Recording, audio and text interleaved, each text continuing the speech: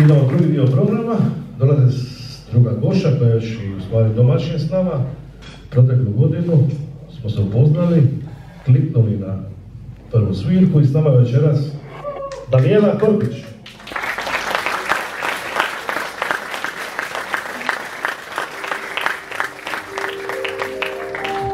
Dobro večer, dragi ljubitelji džeza. Divota je biti s ovim dečkima, moram reći, baš sam sad razmišljala ovaj, prije nego što sam došla na stage, kako mi je baš čast biti s njima u ovom trenutku nakon 30 godina, kad su onako najbolji, najzreliji, jedan pljesak molim.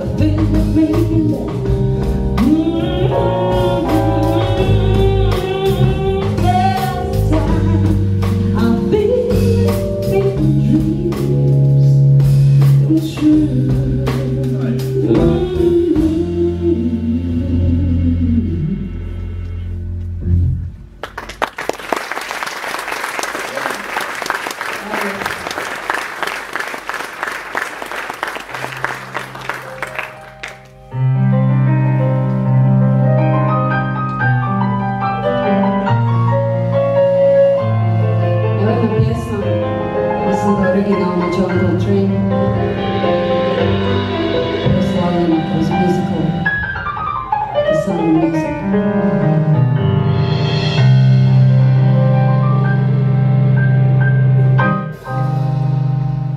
Raindrops and roses and whiskers and kittens.